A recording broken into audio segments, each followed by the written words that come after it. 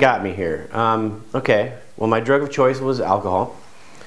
Um, I had not been like a lifelong abuser, just more like a recreational, you know, discovered it in college and of course did my fair share of binge drinking. Um, fortune brought me to Colorado where I got to live a, a ski bum life and there's when it sort of developed into weekdays as well as weekends. And as you know, alcohol is a depressant and then I started kind of isolating and sort of shrinking away from my family um, and drinking more and more.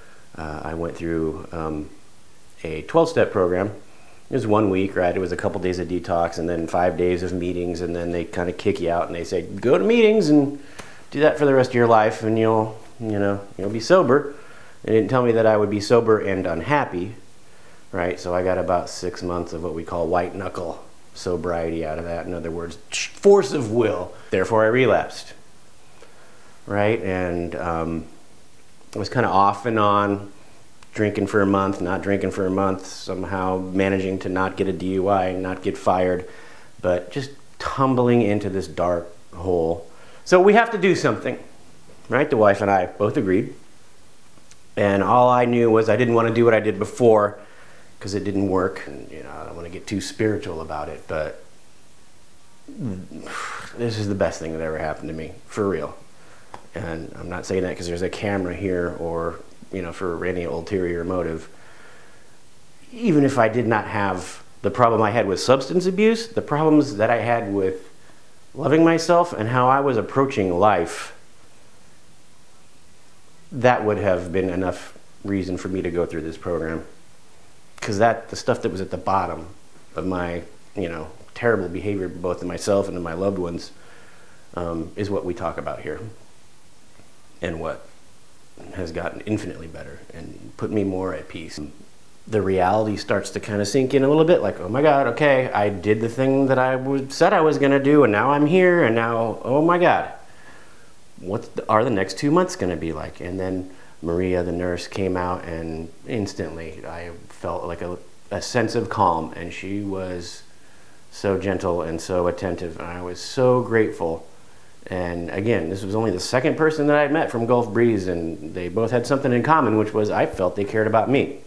Yeah, Maria's got a special place in my heart because she was the first one to, to you know, take care of me and, and to treat me like a human being, which I didn't get at the facility that I had tried, you know, a few years back. They treated, I was a prisoner, basically, right? you know, the way we're treated, you know, with dignity and respect and love, honestly you know, to be truthful, the folks that work here work here because they want to. And I've heard that from their mouths multiple times.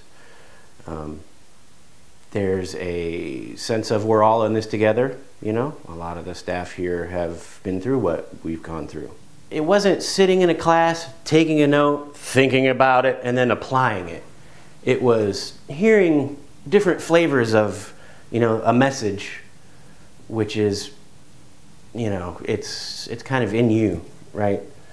Something clicks. It's difficult to quantify. But it worked for me as it worked for a lot of the folks that I've been in this program with is you just sort of realize spontaneously that you have a lot more control over your happiness than you thought you did. And there's a freedom with that. There is a there's a sense of calm that has come over me just in the last in the tail end of this you know enterprise this this journey that I've been on. This has been transformative for me and has given me my life back. And when I've talked to uh, to my wife on the phone or to my mom they have been moved to tears and said oh my god it's so good to have like Reggie back I haven't heard that giggle in 10 years and that's a good feeling the guy that walked in here seven weeks ago was a mess. Somehow, by just by kind of letting go of the reins and, and allowing these, these wonderful people to guide me through this healing, the change has been tectonic in my life.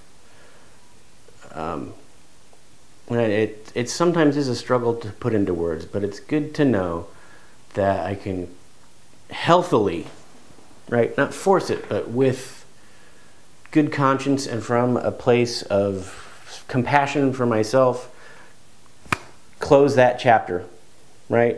of the book of my life and move on to, you know, act two with tools that I didn't possess and, you know, a, a confidence and a, and a comfort with myself that I didn't possess prior to coming here. And I think not having that and and seeing your behavior and feeling out of control and let's face it, hating yourself and judging yourself, that was perpetuating the problem.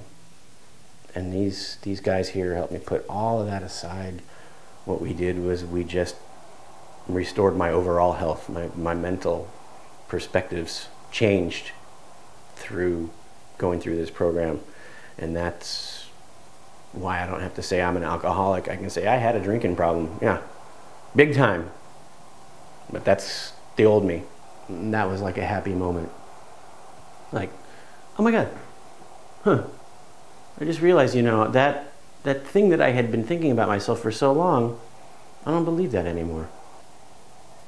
When you understand something intuitively and deeply like that, you, you don't lose it. The greatest blessing is that my children are four and five, and they'll only get to know, they'll only get to know, pardon me, um, the awesome me. I'm hoping that they'll forget the short-tempered, sort of irritable, not present one that got on the plane that they said goodbye to. Um, but that's that's the greatest gift, right? I wasn't drinking because being drunk all the time and having a drink in the morning to keep from puking is a great lifestyle. I was doing that because I felt that's what I deserved, right? What I learned here is that was not true. I, and this will be weird to say this out loud, because the guy that walked in here could never have done this. Never in a thousand years would have said the opposite. But I am worthy of the love and compassion that the people around me have been trying to give me that I've been, right? And that thing that, those things that I had been doing, that person that I was, no longer gets to define me. Man, what a relief. I, I couldn't have done it without this place. While my family was upstairs, right? My beautiful wife who loves the hell out of me my two children who think I hung the moon were upstairs playing and laughing, and I was in the basement drinking vodka, playing video games, isolating, pissing in an empty vodka bottle because I didn't want to go upstairs and have people see me. I went from that to this in eight weeks. Thank God I came here when I did because I still have some time to gobble up a lot of life and a lot of love and to be present for my kids. Uh, I couldn't have done it without this place, without the combination of all these people around me that truly do care, that helped me get there, and the time in which to do it. I guess what I would say to like a you know a prospective guest, right? Somebody who's who's thinking about this place seriously and has hesitation that I did, right? Particularly around the duration. You know, in my mind, I had pictured things that I was going to get out of this.